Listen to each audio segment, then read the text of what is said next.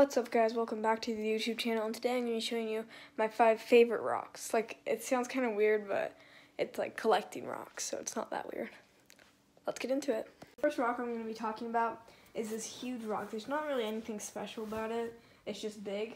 I found it in my backyard while we were digging, and it's huge and really heavy. So, yeah. Okay, next rock. This is a really cool one. I found it outside again.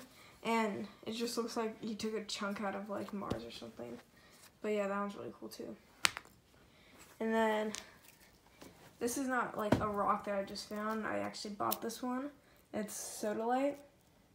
It's really blue and cool looking. And it comes with a little bottle, so that's cool. And then I have a chunk, like a pretty big chunk of obsidian.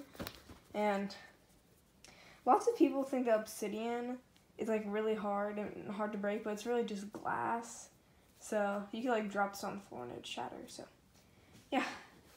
And last one I'm gonna be talking about is this one, and I think you know why. It's cause yeah, yeah. Anyways, like, subscribe. See you next time.